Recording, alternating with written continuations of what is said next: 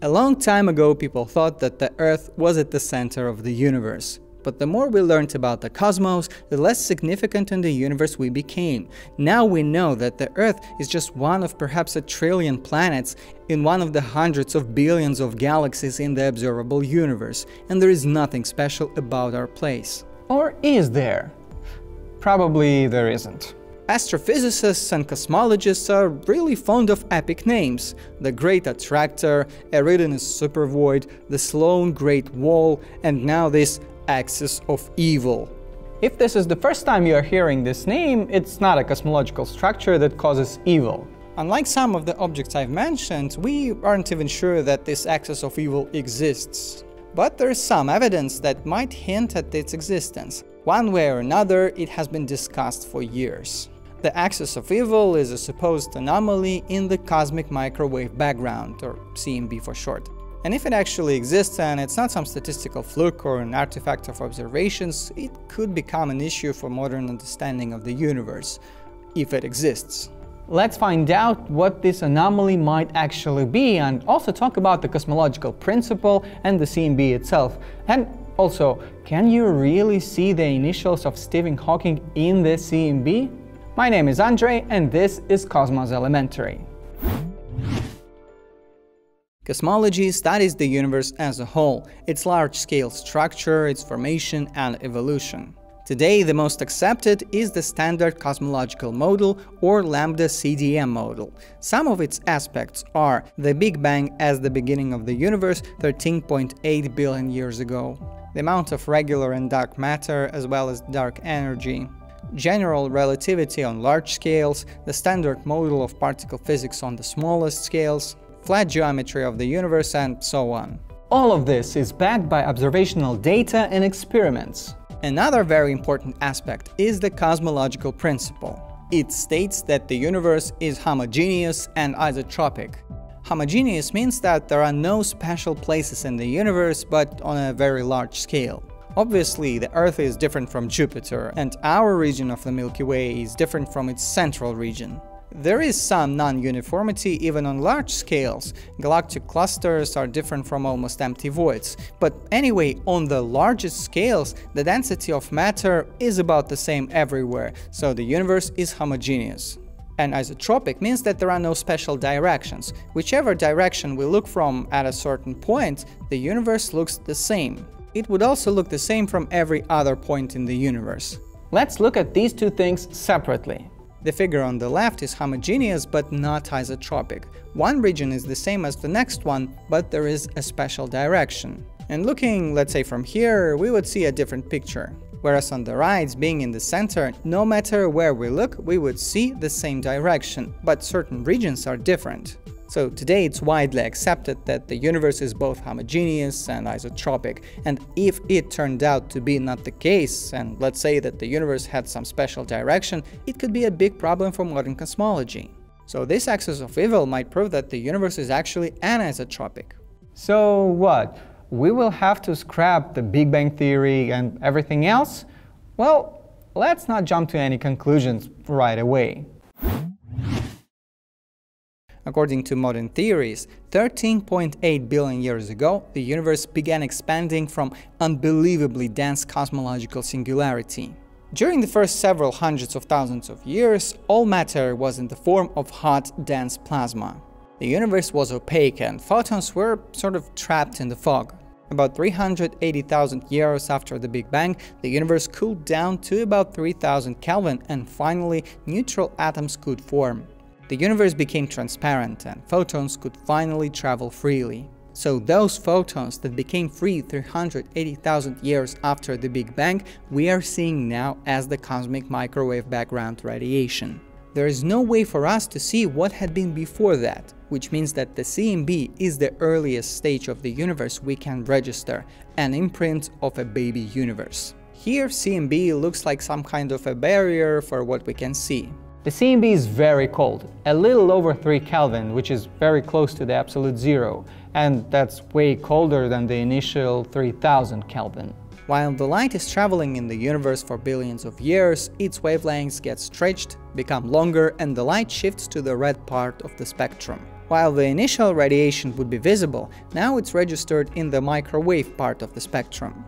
The existence and properties of the CMB are very important evidence for the Big Bang theory and very valuable for understanding the evolution of the universe. The CMB is everywhere, in every direction. If our eyes were sensitive to microwave radiation, the whole sky would glow faintly and uniformly. And how uniformly? This is a simulated view of a whole sky CMB map of Holmdel-Horn antenna that was used to discover the cosmic microwave background. Our galactic plane is in the middle. Without it, it's just a single color. Great, looks homogeneous and isotropic, just what we need but I've already shown images like this one. Such a uniformity of this map is the result of very low resolution of the equipment in the 60s. Every next mission created the map of significantly better resolution. This is the map from the most recent mission, the Planck Observatory. This doesn't look too uniform. But such a variety is an exaggeration to show CMB fluctuations or differences in temperature. The actual difference is on the order of one part in 100,000 across the sky. These fluctuations are believed to be relics of regions of varying density that later formed into stars and galaxies. So the fluctuations are very small and the CMB is very uniform, which is very important for the cosmological principle. But the anomalies. CMB anomalies that sort of don't fit what we expect based on modern cosmology, sort of. And let's first talk about dipole anisotropy. The universe has to be the same in every direction or isotropic. So anisotropy means that it does have a special direction. To study the CMB, scientists use the multipoles. They represent the different angular scales. The monopole is the whole sky at 2.725 Kelvin. Dipole is basically the sky in two halves. Quadrupole is four parts, octupole is eight, and so on up to several thousand. Scientists study temperature variations at specific scales. This is the dipole and anisotropy map. This image shows us that one half of the sky is slightly cooler than the other one. The difference is only several millikelvin, but it's still measurable. Looks like it turns out there is a special direction. But actually there is no anomaly in the CMB itself. This anisotropy is the result of Doppler effect. It occurs because our solar system is moving through space relative to the CMB one half of the microwave sky gets redshifted and the other one blue shifted. Therefore, we are seeing this difference. Nowadays, this dipole anisotropy is subtracted at first stages of analyzing the CMB, but it also has its own use. This anisotropy helped calculate the velocity of the solar system relative to the CMB, and it turned out to be about 368 km per second. And the velocity of our local group of galaxies is about 626 km per second. So the total signal of the CMB is the sum of all of the components at different scales. In the isotropic universe, parts of different multipoles are supposed to have random orientation, and most of them do, but not all of them. Looks like two of the following harmonics, quadrupole and octupole, are aligned with each other. Kinda like along some axis with a small difference of only a few degrees along the axis of evil. This is a 2005 study about this anomaly and it's even called the axis of evil. The chance of such an alignment is very small, but that's not all. The axis divides the sky in halves and one half is again a bit cooler than the second half. This time the difference is even more minuscule, only several microkelvin. And now the weirdest part. These two a bit different halves and the quadrupole and the octupole are aligned with the ecliptic plane of our solar system. Again, it looks like our universe has a special direction, which contradicts the cosmological principle, and this axis of evil even hints at the special position of our solar system in the universe. And that's against the Copernican principle, which states that there is nothing special about our place in the universe. Were people thousands of years ago somewhat right after all? The axis of evil was first found in the data of the WMAP observatory. Back then, there were even some extreme ideas about this. For instance, that the universe has a geometry of a 3D donut. It wraps around on itself around that axis, but observational evidence doesn't really confirm that. Also, there were less extreme ideas, it could be just an artifact on WMAP observations. But the next spacecraft, Planck, that also had a better resolution, showed this anomaly as well.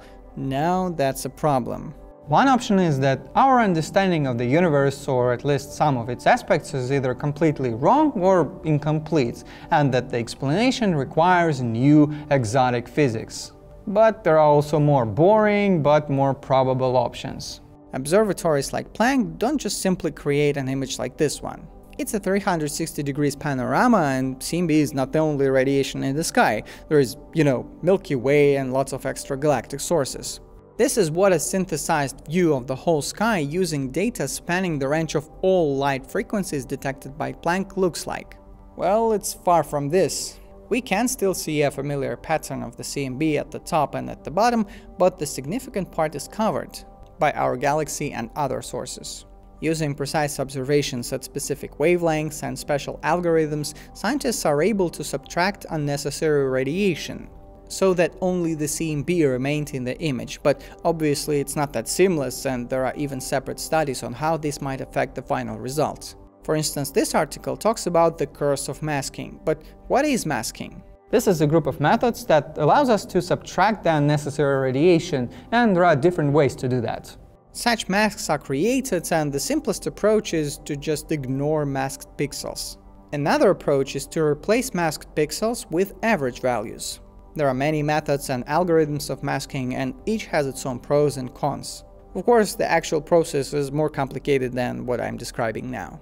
Besides data processing, the result can be affected by astrophysical effects. For instance, the Sunyaev-Zeldovich effect. The temperature of gas in galaxies and clusters can influence the intensity of the microwave radiation, and that can affect the CMB on smaller scales. Also, on smaller scales, the gravitational lensing may have an effect and most importantly, the integrated Sachs-Wolfe effect. The photons that we register have been traveling through the universe for billions of years. Along the way, they go through regions of higher and lower density with different gravitational potential. It could be clusters of galaxies or voids. As the result, gravitational redshift also affects what we see. Sachs-Wolfe effect plays a bigger role on larger scales, specifically on those where we observe anomalies. For instance, this study shows that subtracting Sachs-Wolfe effect significantly reduces the anomalies. Yes, today scientists can account for processing methods and astrophysical effects pretty well, but anyway, we can see how many factors are at play, and when there are so many of them, there can be errors. Observed anomalies can be a result of those errors, and not have any statistical significance. This Planck data release shows that accounting for polarization, no meaningful anomalies were observed. So it's too early to get rid of modern cosmology. But it is possible to look for presence of an anisotropy or lack thereof not only in the CMB. Some scientists look at the rotation of galaxies to see if there is a special direction in the universe. Homogeneous and isotropic universe should have a random distribution of rotation directions of spiral galaxies. It has to be 50% one way and 50% the other way.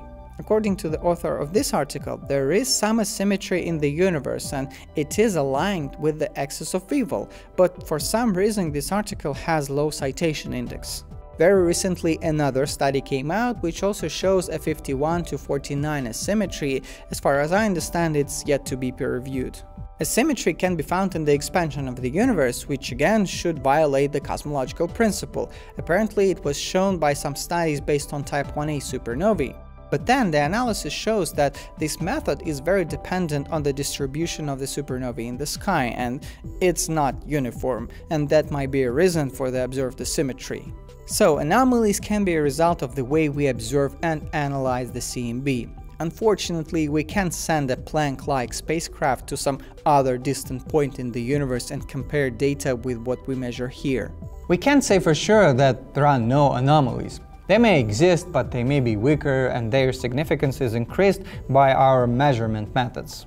The chance for such an alignment is less than 1%, but still it can happen. And we shouldn't forget about human psychology. We tend to look for patterns, even where there is no patterns. But what if there are initials of Stephen Hawking in the CMB?